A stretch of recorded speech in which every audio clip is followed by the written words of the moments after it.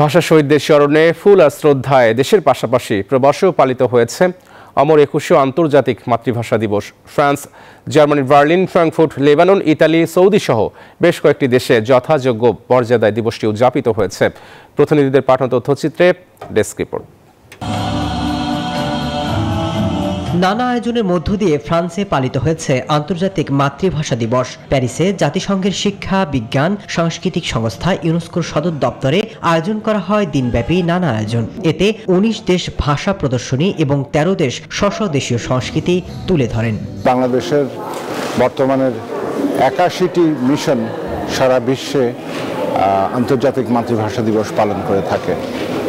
এটি জনকূটনীতির ক্ষেত্রে বাংলাদেশের একটি বিরল সাফল্য। পুরো ইউনেস্কো হেডকোয়ার্টারের বড় একটা অডিটোরিয়ামে যখন সবাইকে দেখি বাংলা ভাষা, অনেকে হয়তো বুঝতে পারছে না বা তারা এইটুকু বুঝতে পারছে যে এই বাংলা ভাষার থেকেই আন্তর্জাতিক মাতৃভাষা দিবসটা এসেছে।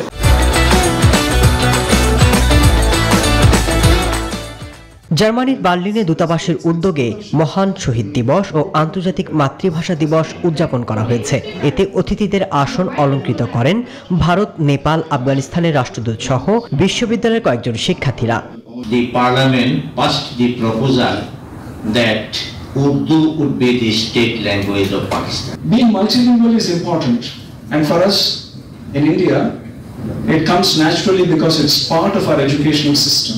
আন্তর্জাতিক মাতৃভাষা দিবস উদযাপন করেছেন জার্মানির ফ্রাঙ্কফুটে বসবাসরত প্রবাসীরা। জার্মান বাংলা প্রেস ক্লাবের প্রতিষ্ঠাতা সভাপতি খান লিটনের তত্ত্বাবধানে ফ্রাঙ্কফুটে বসবাসরত সাংবাদিক, লেখক, সাহিত্যিক, বীর, মুক্তিযুদ্ধ সহ বিভিন্ন শ্রেণি পেশার নারী, পুরুষ এবং শিশুরা এতে অংশ নেন। আমাদের এখানে কোনো শহীদ মিনার নাই।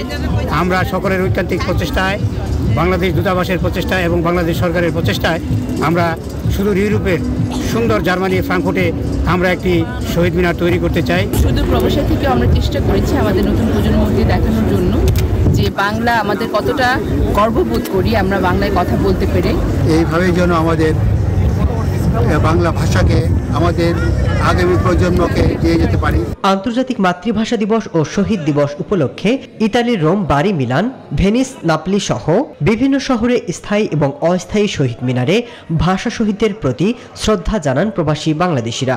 এছাড়া ইতালির ভেনিসে আওয়ামী লীগের উদ্যোগে আন্তর্জাতিক মাতৃভাষা দিবস উদযাপন করা হয়েছে। আমাদের যে ভবিষ্যৎ প্রজন্ম আছে তাদেরকে মাতৃভাষা দিবস কি সেটা আমরা তাদের উপলব্ধি করাতে চেষ্টা করি বিশ্বের অন্যান্য জাতিরাও আমাদের এই আন্তর্জাতিক মাতৃভাষাটা পালন করে ভাষা শহীদের শ্রদ্ধা জানাই সৌদি আরবের রিয়াদে বিভিন্ন দেশের রাষ্ট্রদূত এবং কূটনৈতিকদের সাথে যথাযোগ্য মর্যাদায় মহান শহীদ দিবস এবং আন্তর্জাতিক মাতৃভাষা দিবস উদযাপিত হয়েছে। এছাড়া ভাষা শহীদদের স্মরণ করেছেন আরও কয়েকটি দেশের প্রবাসী বাংলাদেশিরা।